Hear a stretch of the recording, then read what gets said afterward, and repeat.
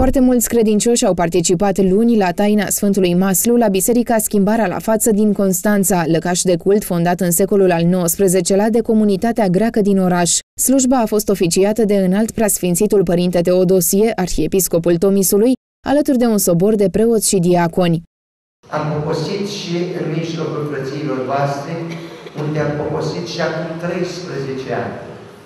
Prima taină Sfântului Maslu am săvârșit-o aici, în Dobrogea, la biserica aceasta, numită grecească, pentru că a fost întemeiată de comunitatea grecească în secolul al XIX-lea.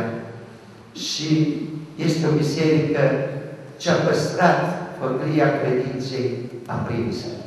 A devenit o tradiție ca în săptămâna Sfintelor Pătimiri, ierarhul Tomisului să oficieze taina Sfântului Maslu la Biserica Greacă. Este 14 zi de luni când consecutiv în fiecare an ați venit ca să slujiți ca primă slujbă ca arhiepiscop și arhiereu al nostru la Tomis. Atunci mi-aduc aminte cu mare bucurie că ne-a spus câți v-am văzut astăzi la biserică, an de an să vă văd la același număr. Chiar dacă s-au înmulțit bisericile și numărul de preoți în Constanța prin vrednicia noastră să se vasă și prin truda care le depuneți, noi suntem poate că mai mulți ca acum 14 ani. Tot luni, înalt preasfințitul părinte arhiepiscop Teodosie a participat la inaugurarea Centrului Multifuncțional de Asistență Socioculturală din localitatea constanțeană Cumpăna. Este un lucru atât de minunat și de frumos. Este plăcutul lui Dumnezeu. Săptămâna aceasta a patimilor este săptămâna jertfei Domnului.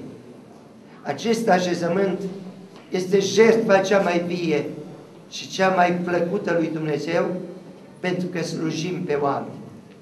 Sunt copleșit de această frumusețe de imagine vie a acestor copii îmbrăcați în asistenți medicali.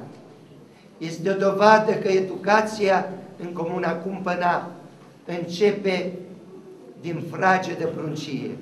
Proiectul este o inițiativă a comunității, fiind finanțat din fonduri europene.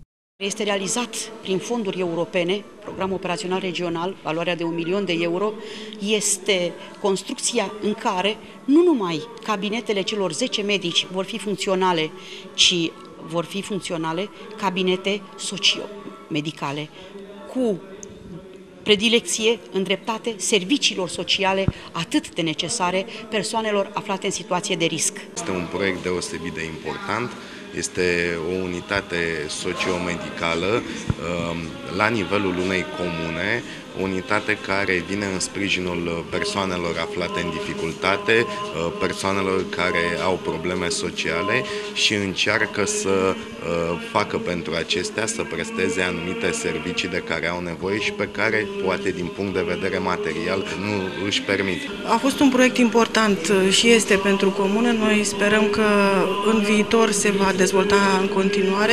Fondurile pe care le-a obținut prin uh, programul Regio sunt fondurile doar pentru a stabili infrastructura, însă cheltuielile curente sunt, uh, urmează a fi asigurate din bugetul propriu al comunei sau cu sprijin din partea altor parteneri. La final, primarul comunei Cumpăna i-a oferit ierarhului de la Constanța o diplomă de excelență.